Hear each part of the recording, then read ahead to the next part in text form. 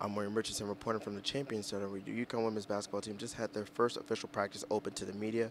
You can see a lot of excitement from this year's team. They're looking to build off of back-to-back-to-back national championships. And this team is basically new. We have three new additions on the team. You have Katie Lou Samuelson, De'Janae Boykin, and Napheesa Collier. So this team is brand new, different, brand new faces, but you have a lot of similar faces. Breanna Stewart, Kia Nurse, Moriah Jefferson, Morgan Tuck. They're all returning from last year, as well as a couple of other key players. So at, we were here at the first practice, so we were able to talk to Coach Geno Auriemma along with a couple of other players. So let's go and check that out.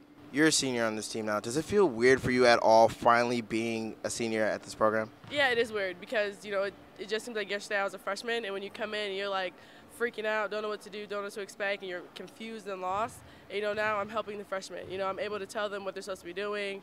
Um, so it is kind of different because it's like the complete opposite, um, but it's, it's a good feeling. How different is this team compared to every other team that you've had so far? Well, I think, you know, obviously each year is different, but I think um, with this team, we have an opportunity to do something that, you know, Coach said before, no one else has done. And, you know, we knew we know that and we're we're hungry. We're hungry to get better. We're hungry for, you know, each practice we come in here, we have a great time and we get better as a team. You adjusting to Geno's coaching style versus high school. You know, in high school you're the number one, and you come to UConn, you basically have to adjust all over again. So, what does what has that process been like for you?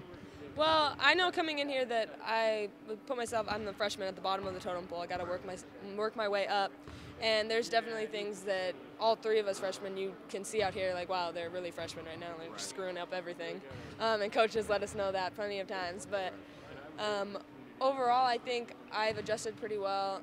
Um, it's been it's been a lot faster pace, but I've been able to get through so far. So right. hopefully it'll get easier from there. Will we ever see you get up there with Stewie and try to dunk in a game? Will we ever see that from you?